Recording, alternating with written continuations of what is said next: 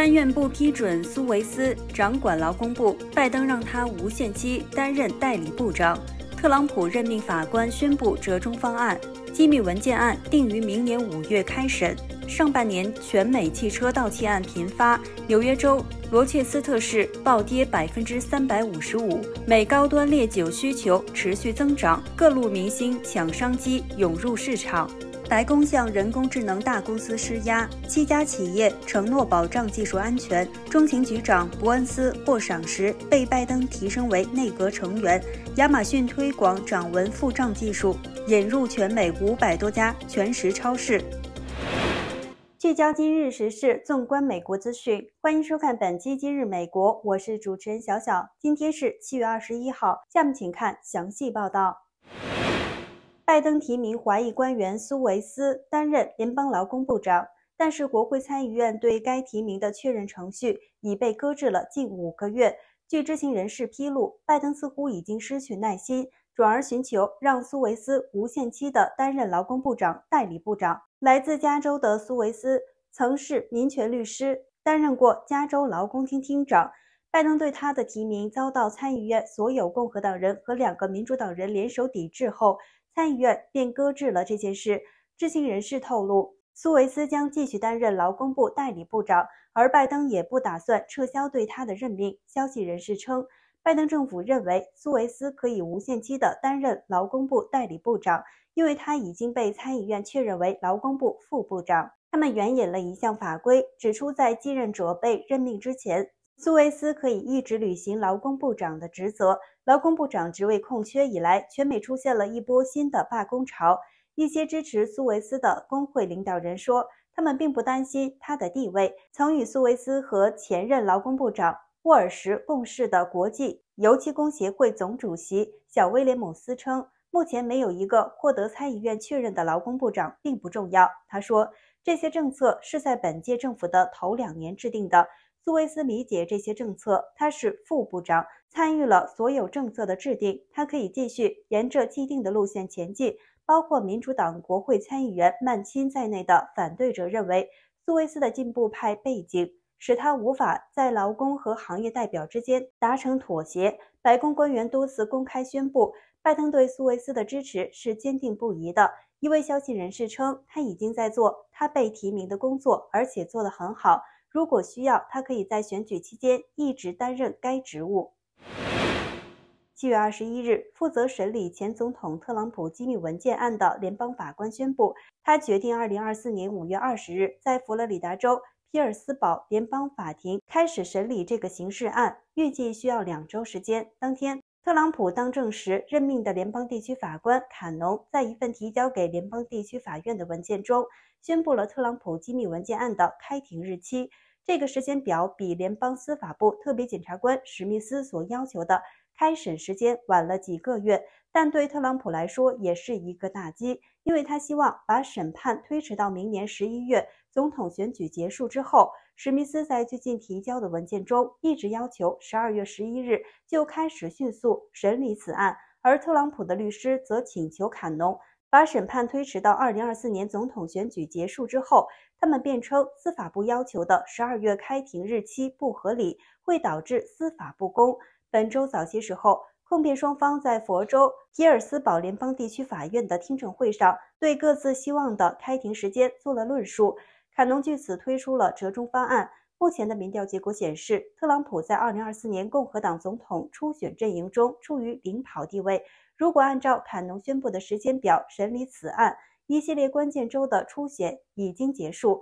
紧接着，二零二四年七月中旬，共和党全国代表大会将在密尔沃基举行，届时共和党将在那里选出这一届总统候选人。在机密文件案中，特朗普被指控犯有三十七项联邦刑事重罪，其中包括违反国家安全法、串谋妨碍司法公正、向调查人员撒谎等。尽管他对所有指控均不认罪，然而一旦罪名成立，他将面临坐牢惩罚。本周早些时候，特朗普透露，特别检察官史密斯通知他，他已经成为另一个联邦刑事案的调查目标，涉及2021年1月6日国会暴乱事件。除了联邦指控，特朗普还面临纽约州法院的刑事审判。今年四月，他对三十四项伪造商业记录的重罪指控拒不认罪。此案的审判将于二零二四年三月开始。与此同时，佐治亚州检方也在调查特朗普企图推翻二零二零年总统选举结果的违法行为，并打算提出起诉。一项最新研究发现，二零二三年上半年全美汽车盗窃案频繁发生，比去年同期猛增了百分之三十四。刑事司法委员会日前公布的美国城市犯罪趋势年终报告显示，与二零二二年上半年相比，今年一月六日。全美机动车盗窃案件增加了约三分之一。该报告称，这种增长很可能来自起亚和现代汽车广泛被盗。不过，该报告也指出，在这些韩国品牌汽车成为主要被盗目标之前，汽车被盗率就已经上升了。研究发现，今年前六个月，全美汽车盗窃案比二零一九年同期多了百分之一百零四点三。研究人员指出，在提供犯罪数据的三十二个城市中，有七个城市的此类犯罪率比去年同期增加了百分之一百，甚至更多。其中，纽约州罗切斯特市的汽车盗窃案增幅最大，高达百分之三百五十五；而明尼苏达州圣保罗的汽车盗窃案降幅最大，为百分之四十一。该报告称，机动车盗窃是一种关键犯罪，因为它有助于实施杀人和其他犯罪。该报告研究人员。洛佩兹说，绝大多数车辆盗窃都与另一种犯罪有关，包括暴力和财产犯罪，以及出售被盗车辆。这项研究发现，虽然美国汽车盗窃案显著增加，但凶杀案和其他暴力犯罪却减少了。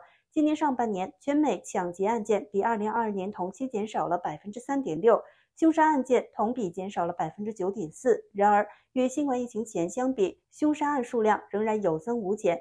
该报告称，在这些城市中，2023年上半年的凶杀案比2019年上半年多了百分之二十四。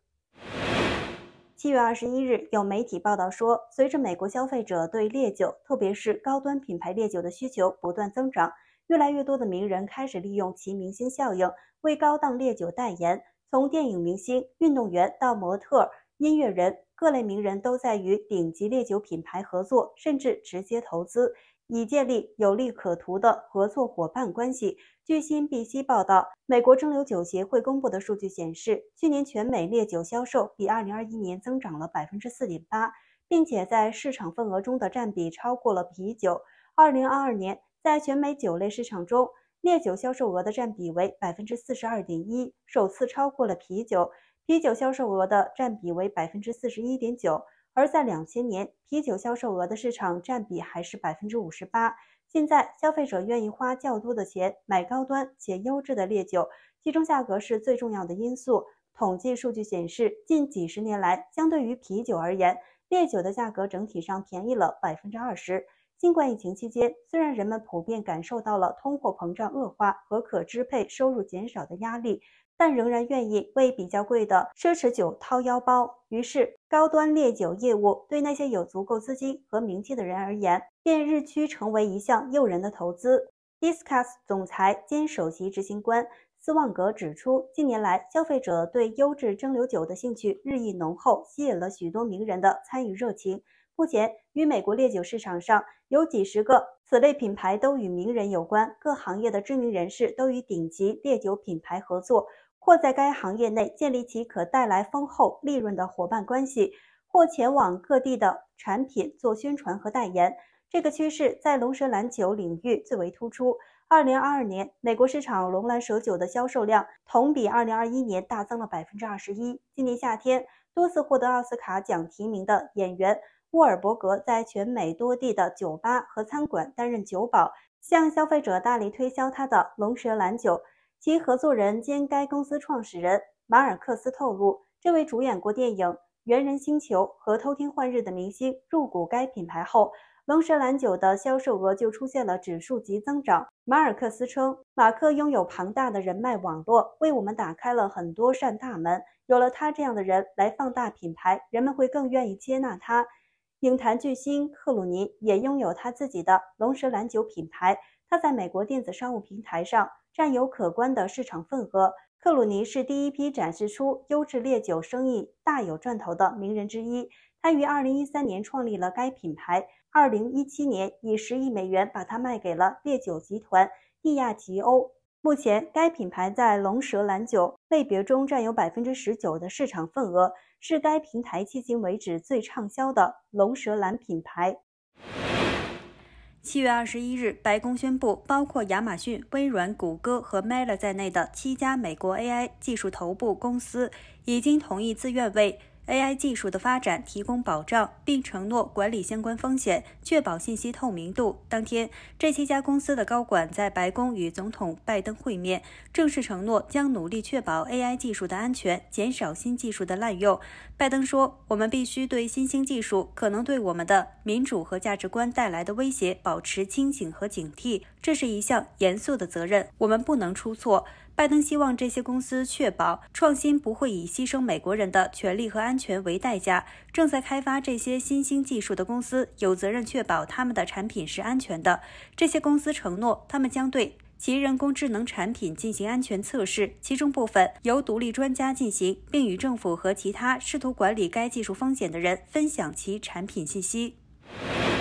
七月二十一日，总统拜登宣布，他已经邀请中央情报局局长。伯恩斯成为他的内阁成员。拜登当天发表声明说，在他的领导下，中央情报局正以一种清新、长远的方式应对我们国家面临的主要国家安全挑战，从应对俄罗斯对乌克兰的野蛮侵略，到管控与中国的负责任竞争，再到应对新兴技术的机遇和风险。今年早些时候，伯恩斯曾秘密访问北京。他那次访华的使命至今仍然是一个谜。华盛顿邮报的报道指出，拜登此举在很大程度上是象征性的，不会赋予伯恩斯任何新的权利。拜登说：“他有尊严的领导代表着美国最好的一面，我期待着在未来的岁月里继续与他合作。”伯恩斯加入内阁后，拜登内阁将由二十六名成员组成，包括副总统贺锦丽、十五位部长和十位内阁级别官员。电商巨头亚马逊正在推广其掌纹支付技术，要把它引入全美所有的全食超市。该公司七月二十日宣布，到今年年底。其 Amazon One 掌纹识别系统将很快在全美五百多家全食超市投入使用。早在2020年，亚马逊就推出了这项技术。据介绍，选择使用 Amazon One 掌纹识别系统的全食顾客不需要用现金或手机支付，只需要把手心朝下，悬放在收银台旁边的扫描仪上片刻，就可以完成付账。首次使用的消费者则需要先在一台读卡器上扫描手掌。并且和付款的银行卡绑定。不过，亚马逊这项技术也引发了隐私安全专家的担忧，尤其是亚马逊如何保管和处理它采集到的人体生物数据。对此，亚马逊承诺，它这个系统高度安全。好了，以上就是今天今日美国的全部内容，感谢您的收看，同时也欢迎大家关注并订阅美国中文广播电视频道，获得更多精彩内容。